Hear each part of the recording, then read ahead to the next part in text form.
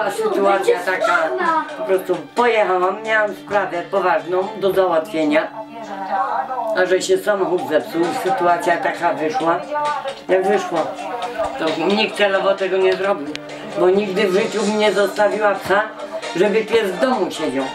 Ja wyjeżdżając nie dawałam nikomu klucza, bo wiedziałam, że pies jest zabezpieczony. My myśmy wyjechały o godzinie 5 rano i planowałyśmy wieczorem wrócić. Także pies miał, policja dobrze widziała jak weszli, była niska, był garnek, No a że wyszła sytuacja losowa, auto się nie było, no zepsuło. to psu brakło, prawda? To jest naprawdę dramat i ja jestem za, Karaniem za karaniem i to surowym karaniem, bo ja mówię, jeżeli ktoś bierze zwierzę, powinien być za to w 100% odpowiedzialny, bo to nie jest zabawka.